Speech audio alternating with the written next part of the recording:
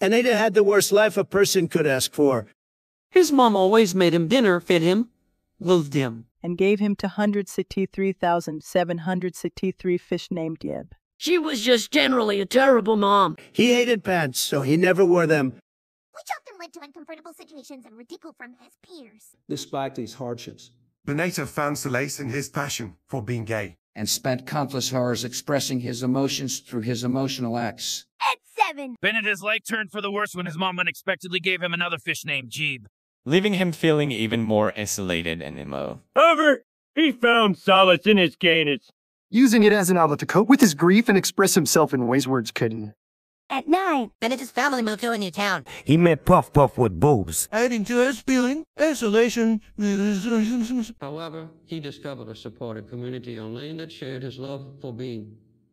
And embraced his emo activities. providing him with a sense of belonging and understanding. At 10, Benedict's family adopted a rescue fish named Luna. Who quickly became his best friend and constant companion. Luna's unconditional love and playful nature helped alleviate Bennett's feelings of isolation. and provided him with a much needed source of joy and companionship. At 12, He wanted to cry because his best friend Lana and his other 131,881 leftover fish.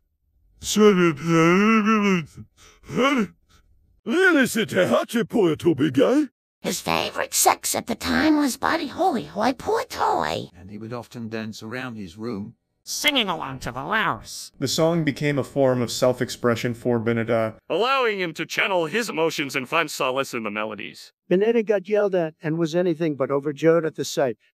Thankfully, the man just had an epic face. Renata stole the epic face and wore his crotch like a bell. At 15, Donato's love for gayness grew even stronger. And he began experimenting with different instruments and genres. He joined a local band and started performing at small venues. Which helped him connect with like-minded individuals who shared his passion for gayness. At 16, He met a gold flatties and took her hostage.